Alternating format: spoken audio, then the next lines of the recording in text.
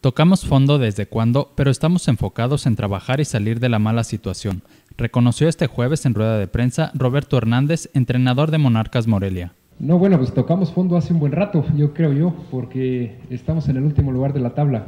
Solamente la semana pasada eh, eh, no estuvimos ahí, pero regularmente el equipo ha estado en esa posición y, y, los números y la tabla pues te dice que estamos ahí, ¿no?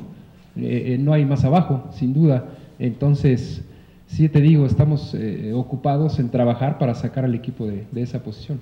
El timonel de los Purépechas destacó las cualidades de Leones Negros, su siguiente rival en la liga, destacando sus victorias ante equipos como América y Tigres, actuales campeón y subcampeón respectivamente.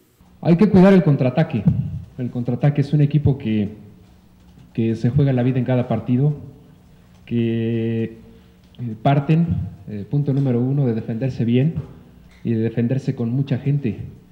Eh, llegan a defender hasta con los 11 jugadores. Pues tienen gente adelante rápida, muy rápida, que está en buen momento y que está eh, concretando acciones y eso es lo que les ha dado ganar los últimos dos partidos. Monarcas dará inicio a la jornada 10 del Clausura 2015 cuando reciba este viernes en el Estadio Morelos a los Leones Negros de Guadalajara.